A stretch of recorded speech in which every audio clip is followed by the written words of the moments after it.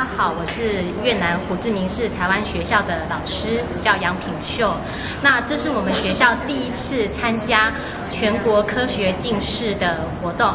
那这一次呢，我们有学校有三个作品，那其中有两组是入围，那这一组呢入这一组呢晋级了决赛。那我们这一组的小朋友的特色呢，是他从生活中常常会接触到的 YouTube 影片里面去发掘。去探讨说这样子的影片里面所说明的一些议题是不是正确的？那因为越南很热，那他们呢就设计了，我们就设计了这样子的，呃，保特瓶的冷气机，是不是真的跟影片中的？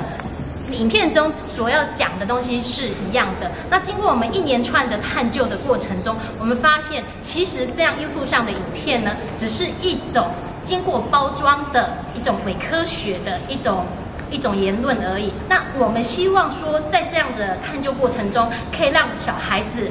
养成独立思考的习惯。那我们回归到科学原理去做探讨。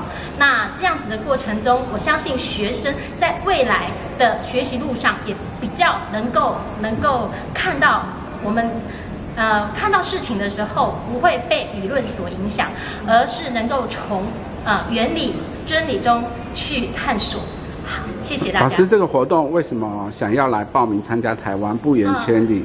好，这个真的是，呃，我我们会希望说，其实，在越南，虽然我们很远很远，那也很高兴主办单位让我们可以有这样的机会来参与，因为其实，在海外服务，我在海外服务十五年，那看到的学生，其实他们。真的在那一块很单纯的环境里面，都是很认真学习的。那我想，很多台湾里面有的一些好的教育资源，应该也要让这我们海外的学生能够共同参与。经过这样子比赛的历练，我相信他们的眼界会更广，他们才不会被自己只是单纯的生活在越南这一块的局限处。他们可以看到更优秀的、更优秀的学校、更优秀的。更优秀的呃活动，然后借由这些活动提升自己，让整个学校也往上提升。